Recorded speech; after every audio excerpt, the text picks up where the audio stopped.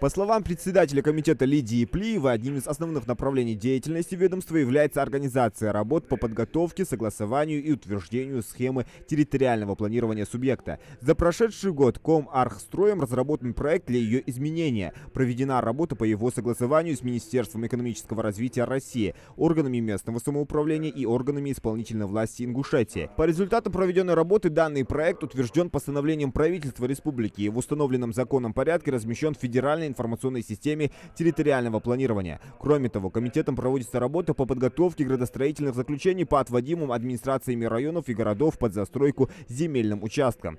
В части их соответствия утвержденным документам территориального планирования и градостроительного зонирования. За истекший период подготовлено и выдано 52 заключения. Из них 32 положительных, 20 отрицательных. Махмуд Али Калиматов отметил, что за обликом городов и районов нужно тщательно следить. Над этим всем сопричастным органам необходимо работать во взаимодействии. Хаотичность застройки ведет к безобразию города, района, особенно центральных частей. Надо все площадки, чтобы их архитектор, значит, ну, чтобы вы знали. И тогда концепцию выработать. Нельзя там вот, э, я считаю так, и все. Нет, надо обязательно э, исходить, там много нюансов. Место расположения, земля, там, да, финансовая составляющая, коммуникационная, свет, газ, вода, там, как, надо все учитывать эти вещи. Вы должны как единый работать э, организм, и, естественно, там же должен быть глава района и города. Потому что облик их, и они стоят на переднем плане. У нас ведь э, не поймешь, вот едешь, вот одно, второе, третье. Улицы идут, и там проулки были. Да, там. А некоторые улицы есть километр, едешь, и это. Взяли вот эти проулки, застроили. Слушайте, ну я же вам говорил, это же не ваша прихоть там, жалоб, ярди, вожди. Слушай, ты скажи, у тебя документы, покажи. Убери этот забор. Прям предписание пишите, убери забор. Не идет, значит, идите в прокуратуру.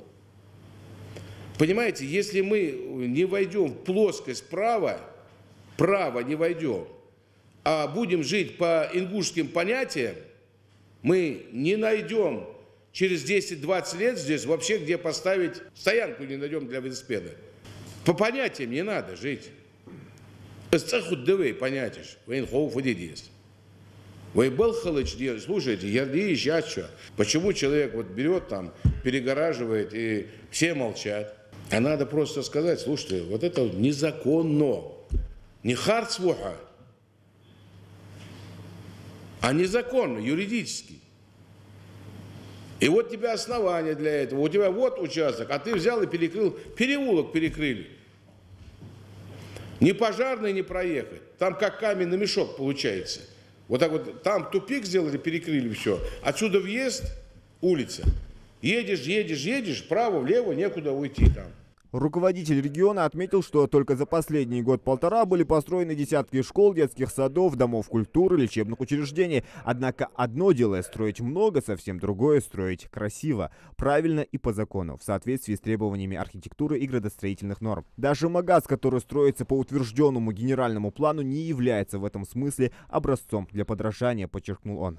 Приготовьте земли Приготовьте, возьмите вот нацпроекты, вообще, что вы сами думаете, что люди хотят. И возьмите эти, возьмите еще плакат «Жаек» землю, зарезервируйте ее социальные, которые объекты жи, эти земли в резерв сразу, под социальные все до 30 -го года. У меня сердце разрывается. Но неужто вот люди не понимают, живущие мы сегодня, что мы оставляем детям? Ну как это вот? Вот я поехал, нет какой И вот в поле строится дом культуры. Вообще совесть есть у кого-нибудь? Или кто-то забыл вообще, что это такое? Просто совесть человеческая. Значит, коммуникацию туда надо тащить, воду, свет, газ там, да? Там очистные надо делать отдельно, да? А потом еще дорогу, тропинку, свет. Туда же ребенок не пройдет, там километр... Сколько выезжали мы туда? Километр два-три, наверное, больше. ехать, даже больше. Это от кромки станицы, села. Для них-то нужно хоть час-два, чтобы они пошли там в Дом культуры, в школу, чтобы они удобно пошли, в садик пошли. Но это же дети, понимаете? Ну неужто нельзя вот просто, и вы же там живете, город, район, сельское поселение, Хавелос, и сходи еще, а что не, а Я хотел бы, чтобы вы подумали и о детях, и теген, теген, хамху дождей нормально будет. Потому что сегодня много у нас проблем, но эта проблема, эту задачу мы можем ее решить. Мы можем упорядочить э, земли, мы можем архитектурно улучшить их, для этого есть комитет, да? Если мы вот поэтапно пойдем, я думаю, через определенное время у нас появится э, ситуация, которая бы радовала бы не только нас. На вас большая ответственность лежит. Но вам надо с людьми говорить, доносить до них это. Давайте до 1 июня. Вот давайте вот записываем протокол, значит, у Фатахова, значит, э, защищаете все эти дела. Докладываете реально.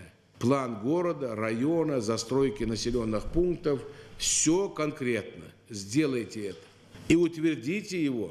По словам руководителя субъекта, при отсутствии должного безотлагательного решения проблема будет нарастать, поскольку региону предстоит масштабное строительство социальных учреждений, для которых уже затруднительно найти земли в центре сельских поселений и городских округов или шаговой доступности для населения. Зелимхан Калоев, Хусейн Гагиев, Юсуп Ханиев, Новости 24.